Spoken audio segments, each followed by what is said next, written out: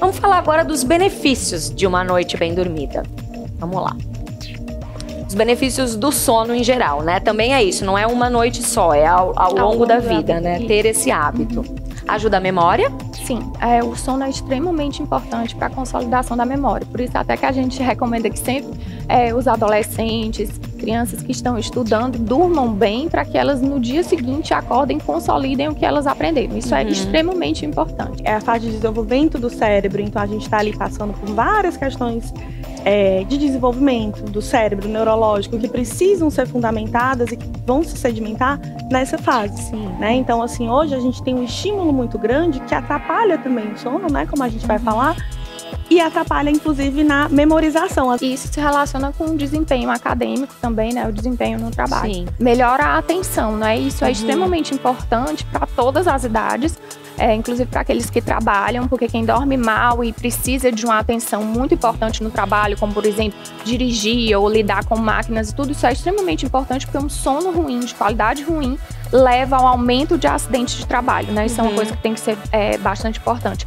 E nos idosos também, a gente tem que ver que alterações do sono, doenças relacionadas ao sono, podem levar o idoso a uma maior sonolência e isso pode até em alguns momentos levar a diagnósticos de demência, mas antes a gente tem que ver se o sono realmente está bom, se tem alguma patologia relacionada ao sono uhum. que possa melhorar essa sonolência, essa concentração e esse déficit de atenção de idosos.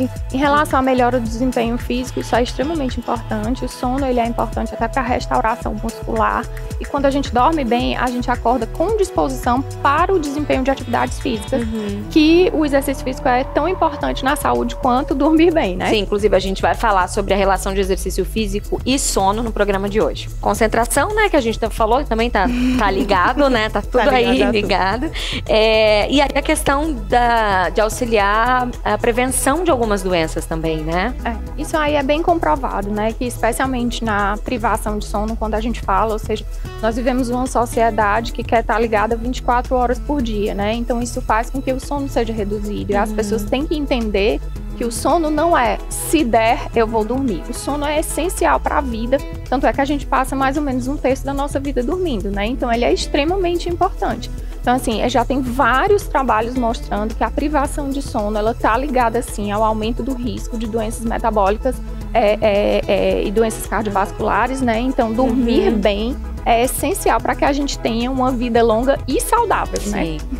E a gente está vivendo uma época de pandemia, né? Ou seja, é uma doença que acometeu o mundo inteiro, né? E a gente tem que lembrar que o sono bom, de qualidade, também é importante para a nossa imunidade, né? Então, assim, quando a gente dorme bem, a gente tem uma restauração imunológica, a nossa capacidade das células de memória é maior, né? É, quando a gente não dorme bem, é, a gente aumenta o estresse, aumenta o cortisol, que é um hormônio liberado durante o estresse, e o cortisol ele causa uma certa alteração na nossa imunidade, diminuindo as nossas defesas. Então a gente até tem é, recomendado quando as pessoas se vacinam, elas tenham uma noite de sono pós-vacina boa, porque isso pode influenciar até na capacidade, na imunogenicidade da vacina.